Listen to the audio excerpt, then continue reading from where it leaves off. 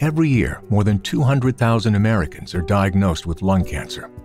When caught in its early stages, lung cancer is much easier to treat successfully. That's why early detection is absolutely critical. At Fox Chase, we offer annual screenings using low-dose, non-invasive CT scans, the most effective way to identify early-stage lung cancer.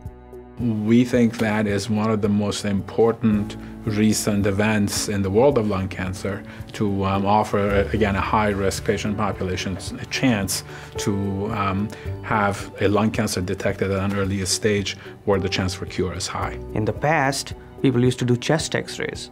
We now know that that's not helpful. The only way to detect lung cancer early is doing a CAT scan of the chest. Anybody who's between the ages of 55 to 80 and has had has smoked for more than 30 pack years or so is eligible for screening with a CAT scan. Program is set up in a very user-friendly uh, fashion. Patients call in, they'll come in, they get a CAT scan, they meet a nurse practitioner, they get the results on the same day, and by the time they leave, in about three to four hours, they know what the CAT scan is showing, they know what the next steps are, and everything is taken care of.